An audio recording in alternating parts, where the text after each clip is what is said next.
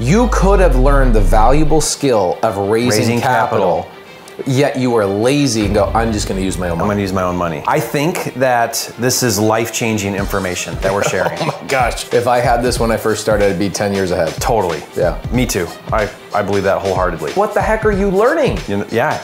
Nothing. Welcome back, guys. This is video three now in the series, the masterclass series on raising capital with Pace Morby. Pace, I can't think of anyone who is more knowledgeable and more creative on all the different ways that you can structure deals using capital. So this is a really fun series, and this is like everything about what I do. If I really think about it, what what is the magic ingredient? Like, what's the secret sauce? And it's always capital structure in Yeah. some way or another. Yeah, it's always capital structure. I think that this is life changing information that we're sharing. Oh my gosh. If I had this when I first started, I'd be 10 years ahead. Totally. Yeah. Me too. I, I believe that wholeheartedly. What is the difference, Jerry, that people think is the difference between hard money and private money? Most people will either say, well, hard money's more expensive, Mm-hmm. which could or could not be true, right? Or they'll say hard money charges points. Mm, Which could or could not be true. And if you don't know what points is, we'll break that down. And, and private money doesn't. So, two very common misconceptions about what the difference is. Yeah. So, maybe we should ask, guys, leave a comment. We're going to tell you, but leave a comment right now while you're watching this. What do you think the difference is between private money and hard money? Two words that we use all the time. So Very common in the industry. Right, and you'll see this written in a lot of blogs and other descriptions and email marketing and stuff. You'll see PML, HML, right? Yeah. So those are acronyms for hard money lender, private money lender. The way that I describe the difference between a hard money lender and a private money lender is a hard money lender is an institution. They have a license to lend money. They are licensed. So they're an LO And regulated. and regulated. Yeah. And so what they do, they have a website. They're out there branding themselves and marketing their services and saying, use our money. A hard money lender is a company that lends money to a hard asset. This is why we mm-hmm. call it a hard money lender. So they're not going to give you a personal loan based on like I really like you Jerry and you have a really great business idea. I'm going to give you money and they have nothing hard or tangible that they can lean the property and, Yeah. and control the property. A hard money lender is an institution. So if you guys type in hard money lender in whatever city you're in, you will find out that there are more hard money lenders in your city near you that are on the web saying, take our money, borrow our money. That is a hard Fill out an application right here for, for a Right. loan. Yeah. Most hard money lenders that I work with do not check your credit. Most of them that I work with. If you guys are in Arizona, I use a company called Frank West Capital. Mm-hmm. They are 100% of the purchase price. No credit check. All they do is they look at the deal itself and they go, We like this deal. We're going to give you 100% of your purchase price because you got it at a good deal. Yeah. Okay. Every hard money lender is different, meaning they charge different points, different doc fees, their speed, their service, their everything is completely different. But it, they are all individual companies. Is a hard money lender. Yeah. They're a company. You go to an office, you walk in, they have a secretary usually, and then there's two or three people in there working the loans and the paperwork and all that kind of stuff. That's a hard money lender. They are looking for ways to give you their money and they're actually competing with other hard money lenders to mm-hmm. give you money. If I knew that when I first started that hard money lenders are competing and vying for my business and Yeah. that it wasn't like how do I find a hard money lender? Dude, they're trying to find you. They're Yeah. desperately trying to find you. A private money lender it, the, on the other side is I would say is like my uncle Tom. It's an individual. It's an individual. They're not licensed. That's not their main business. Um, they're individual human beings, friends of yours. In fact, if you guys pull up, open your phone, I, I always practice this with people in an audience. I go, open up your phone and let's take two minutes, just scroll through. And as you're depicting these people, what car they drive, what they do for a living, whatever, go through and just every single person you think has $50,000, I want you to make a mark on a piece of paper. And 100% of the time, everybody goes through and they find at least a million dollars sitting in their personal cell phone right now of people that would give them twenty-five to fifty thousand dollars. A lot of traveling nurses, engineers, doctors, lawyers, salespeople, right? Um, so a private money lender is an individual that's saying, my money is dead in my bank account and I don't know how to find these deals myself, and I need a Jerry or a Pace or a you to go find these deals so I can focus on my lane, which is I'm a doctor, I'm an attorney, I'm a traveling nurse, I'm a engineer, I'm a school teacher. Whatever it is that you are, My favorite private money lender was one of my sellers. Her name is Desiree. Still have her money mm-hmm. to, to this day. And she is a traveling nurse. She's like, I don't ever want to find deals in real estate. I'd rather you just put my money to work for me.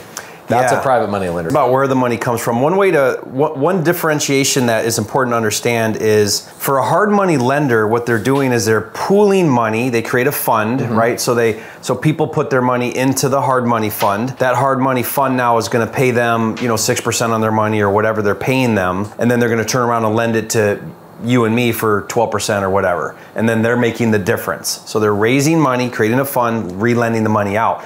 Well, when you when you take somebody's money as an investment and then lend it out, that's highly regulated. Yep. They're licensed, they're regulated. The that's SEC like is that's like go involved, to jail if you screw that up, yeah, right? securities violations. Yeah, and it's Yeah. state by state. So that's why you'll see hard money lenders are in a certain state. Some of them go get licensed in multiple states, and there's some that are nationwide. So that means they went through the work to get registered, licensed, all that expensive regulation in in whatever states they're in. Right. So that's why you'll see hard money lenders that are very, you know, market specific. And so, however, with private money, you know, if if Pace lends me money on a deal, it's a one-to-one loan. It's a direct personal loan on a real estate deal. So Pace doesn't need to be, you know, licensed or regulated or any of that to lend his money. Right. Now, if Pace lends me his money and then I turn around and lend Pace's money to Sheik, now we got a problem Right. because right I'm I'm using his money as an investment into something else. Right. So people really get a lot of there's a lot of misunderstanding between the difference of those two. A, a typical hard money lender, I'd be curious to see what you, you see. I would say that if a hard money lender charged me two points, 12% interest, Yep. and would give me a loan at 70% of the, the purchase price or 70% of the of what I was buying it at, um, and I would have to come in with about 30% is typical for a first time borrower. Okay, two points. So let's say I'm borrowing $200,000. I'm gonna pay four grand in the very beginning. Before I even get the money, I'm paying four grand as part of the, the cost, right? So I'll pay four grand in cost. I'll pay a doc fee of $900 usually, Appraisal sometimes. appraisal sometimes.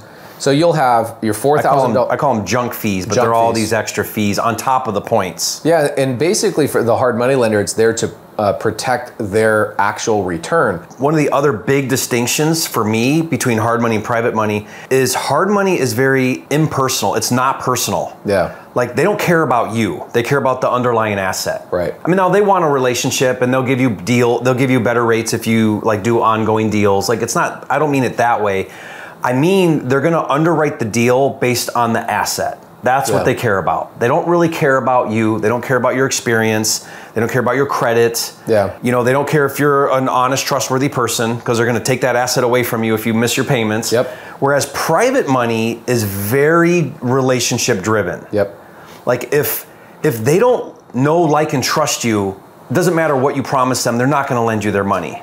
This is a really good, maybe a good analogy. So, um, hard money lenders bet on the horse. Private money lenders bet on the jockey. I love that analogy. That is so true. yeah. They're they're less concerned about the deal and they're more concerned about can I trust Pace to make me right if if, it this goes- deal goes bad. If it goes bad, right? Yeah. The hard money lender, um, you know, they look at the deal. Yeah. And so he doesn't. It is the relationship, but also that's the nature of a hard money lender. They go, send us the details, fill out the form, we'll give you the money. Yeah. That's that's it. And then the private money lender are like, okay, what if? Kind of like the first deal that we talked about in, in episode Yeah. one with you, or uh, sorry, the last episode where he says, Jerry, what could go wrong here? Mm-hmm. Your private money lenders want to know what could go wrong, and if you screw me, what are you going to do about it? Are you gonna gonna make it me- right? How are you gonna make it right? Yeah. Which is actually happening a lot. It happened a lot in 2022. Interest rates went up. A lot of home flippers. I'll tell you. Here's here's one that happened to me last year. I had a deal on Hobson, right by the Mesa Temple in, in uh, Arizona. I have two properties next to each other. We were going to flip one and we are going to hold the other, literally next to each other, bottom from the same owner. And um, interest rates go up, price of the market goes down. Instead of me making 50 grand on the flip, I'm now going to have to lose 50,000 bucks. I don't even have a conversation with my private money lender because I don't need to. you just wrote the check. I wrote the check. yeah. Now, I didn't lose the money. What I did is I refinanced and I just put it in my portfolio. It's a break even cash flow Yeah. now. But I got my private money lender out and I never even told them about the trouble or the fact that I changed my strategy. I just said, hey, here's the timeline, here's your here's your money back and your return. And why Pace? Why not call them up and say, look, you know, you've made a lot of money with me. This one didn't work out. Can you take a loss on this deal? Like, why didn't you not? Why didn't you have that conversation? you lose I- all I see people trust. do this. You lose all trust. That's like, you know, um, I see men, I don't associate with them, but I see men going out there and they're married for 10 years and they go and they are have infidelity in their marriage one time. Do you think that wife is ever going to trust that guy ever again? Mm-hmm. Right. Never. Never. You're, it's done. You're not building that back. It's You will, you will spend the rest of your life rebuilding trust. and Yeah. at the end of the li- at the end of your life, your wife will say, "Remember that time 30 years ago that you did this? Yeah. I still never forgave you." Guys, your private money lenders will they will here's the difference. They will leave you. And let's just put this in a financial perspective. Like, I have a lender. Um, she's in Maryland, and she started out with a hundred thousand lending to me. It was in her IRA. We're going to talk about that. So that means because it's in her IRA, when we do the deal, she makes the money. It all goes back into the IRA. Right. Right. So then her IRA just keeps growing, and then she would reinvest. So it's compounding. She's reinvesting the new capital Right. back to Jerry on new deals.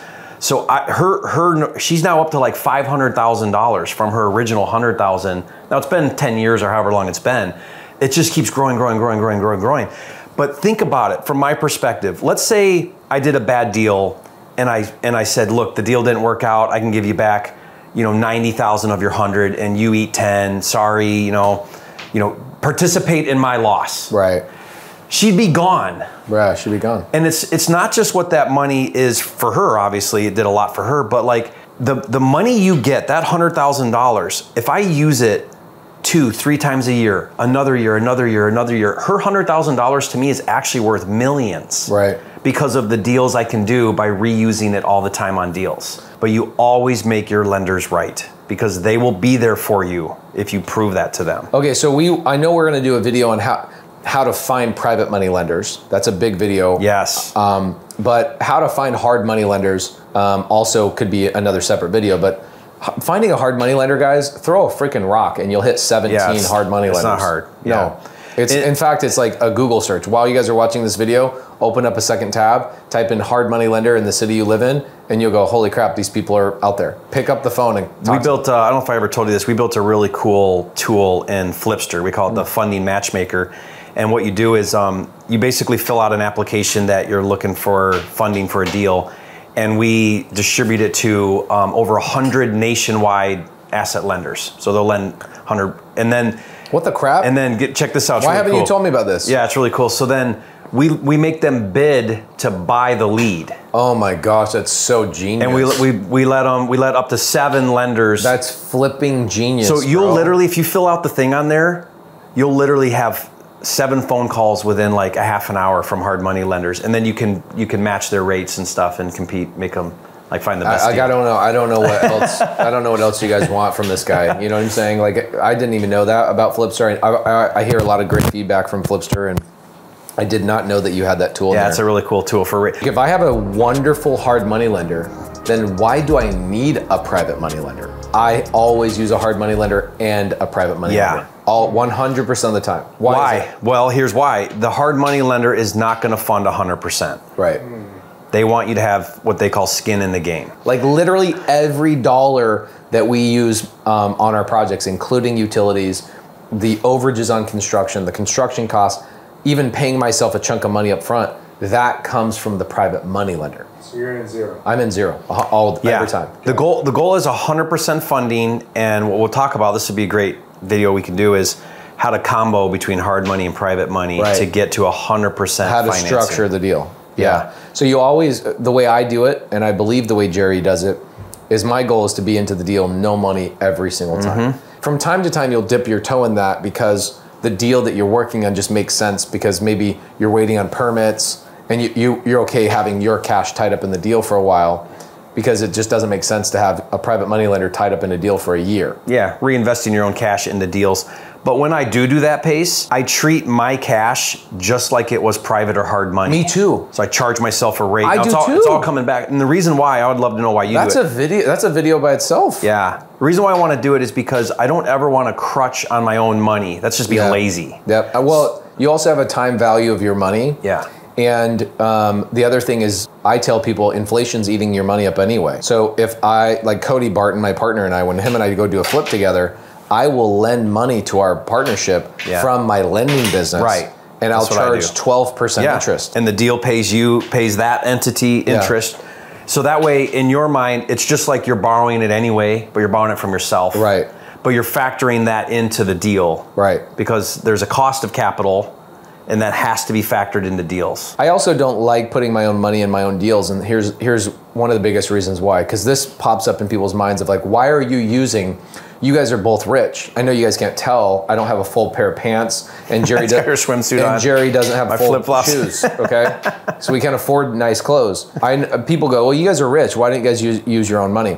Well, our money is actually better used doing other things with it. Yeah. Okay. So for for example, with me, I will buy title company that has a 300% cash on cash return every year. I will go out and I'll do big multifamily. I'll I'll pull my money out, buy assets that save me a ton of money on my tax savings. Mm-hmm. So my cash will go into those deals so I don't have to raise money for some of those deals.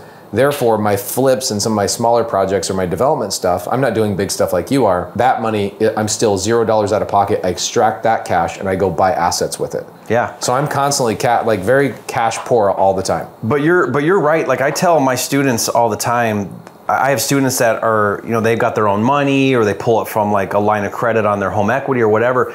And I tell them, I'm like, you're being lazy. Don't use your own money. It's it's not just lazy, it's irresponsible because the, what they should be used learning. It's not even about it is lazy and irresponsible, but here's why it's irresponsible. You could have learned the valuable skill of raising, Raising capital, yet you are lazy and go, I'm just gonna use my own money. I'm going to use my own money. And meanwhile, Jerry and I are using no nobody's money, uh, not our own money, Mm-hmm. and we're actually providing value to another family who's like, I got all this cash, I don't know what to do with it. You're building relationships. When you use your own money, what the heck are you learning? You know, yeah, Nothing. yeah. You're you're skipping a whole valuable skill set of raising capital. Hard money, institutions, private money, individuals. Okay, and um, you need both of them, and also your ability to scale in this business is contingent upon how many private money lenders you have. People will ask me the question of how much do you pay your private money lenders? Okay, I'd love to hear how you do it. I've got my own way. Here's doing the it. answer. This is a weird analogy. I don't know why this analogy just makes so much sense to me. But let's say I'm a girl going to the prom, mm-hmm. and the prom's coming up in five days. Is this the ugly girl story? No, she's hot, Okay. I think. But let's say that you have 10 guys that ask you to the prom. Which guy are you going to go with? The hottest guy with the nicest car that ha- buys the corsage, right? Is that right, mm-hmm. Sheik? Could you imagine yourself being a hot chick? No. Okay, he can't. But you know what I'm saying, right? okay, but if you're if one person asks you to prom, what's the answer to that one person? If only one, Only one person asks you. that's your only option. It's your only option. So it doesn't matter if that guy's missing teeth and has an eye patch and a wooden leg. he could be a pirate, and you're going to say yes. You're going to say yes. I don't want to miss out on going to the prom and dancing with my friends and having a good night. I will go with you. The more private money lenders you have, the easier it is to kind of leverage down to a lower rate. better rates. Yeah, Right. love that. That's great. And guys, I got some great free resources too uh, that I'll put in the, the link below. But one of them is I built this prospectus, and it's uh, what I did is I went through 20 deals. And it shows like before and after pictures, it breaks down all the numbers, and then it shows like the profit. And then it explains how if you lend private money onto a deal, how it works, the steps to actually put the money to work. How and what I do is you you I'll give you it for free. You can print it at um, like FedEx or Kinkos or whatever, and it's like this thick. It's like over 100 pages. And what I the way I use it is if I'm going to have a call with a private money lender or talk to them, I'll send that to them first so they have it in their hands. Mm. Love it. And I made it evergreen, so like it doesn't have the city and state, so that you can use it. Now, don't say these are my deals. Say you know me and my partners, Yeah, yeah. Jerry or whatever, and you can use that. But it makes you look super professional because it's like, hey, here's how this works. Um, I've got that. I also wrote a book on. It's an ebook. It's like 50 pages or whatever, and it, it's everything that someone needs to know to lend their money on a real estate deal. So it goes through all the terms and the How vernacular. I have. I'll give you that for free too. Okay. It's myfundingkit.com. I always ask Jerry this question because he has so many free things. Yeah. You- are the best at this. Thanks. I can't imagine. Like, I, I look at the production and like what it takes to put these free resources together, and I'm like, you have spent so much money and so much time. Like a Yeah. hundred deal or a hundred page prospectus on deals and structures and all that kind of stuff. Not only did you put the the work in to create the resource, but you put in the work to gather the information and you put in the work to find the deals, run the deals, actually break all these things down. Most people that are flippers and and they're full time real estate people, they're not tracking deals like that. Like you had to be very committed to that creating that resource. It took a couple of years to do that. Yeah, I mean, I created it for my own business, and then I thought, you know, this will probably help other people, and so now I just give it away. But what's great about it is, um, all of a sudden, you set yourself above everybody else because you just look so much more professional. Yeah. like you're put together. You give them these resources. They're gonna now, if they go through the resources, they're gonna now feel more confident in you. Yeah. more safe to lend you their money. It just helps build that credibility. Because hard money's easy, guys. Literally, like they're in every market. They'll lend you the money. They're going to charge you interest and points. Probably they're going to want you to put some skin in the game. Right. They're, they're going to have formality and an application, all that. But private money is where the magic happens. When somebody asks me, Pace, how do I find a hard money lender? Guys, all you're telling me is that you haven't Googled hard money and your city and made It's a that easy. single phone call. It's, It's- literally that easy. But they're not going to lend you all the money. So let, here's what I say. 80%, you said 70 earlier, 70, maybe 80% of the total capital you need for a deal, hard money will lend you that all day long if it's a deal. Now they're Yeah. going to under it's got to be a deal. So that's the key here is it's got to be a good deal, but they'll lend you the majority of the money. So now it's that other 20%, Yeah. 10, 20, maybe 30% of the money. That's the special sauce to getting deals done zero down. Right. And, And I- that's where private money comes in. I think um, the other thing, myfundingkit.com. Yeah, myfundingkit.com will give you those free resources that are really helpful. You guys can tell he worked on that a long time ago because how does he have myfundingkit.com even? you must have bought that domain As a 10 years URL? Like how? I've had it a while. All right, guys, thank you. We'll see you on the next video.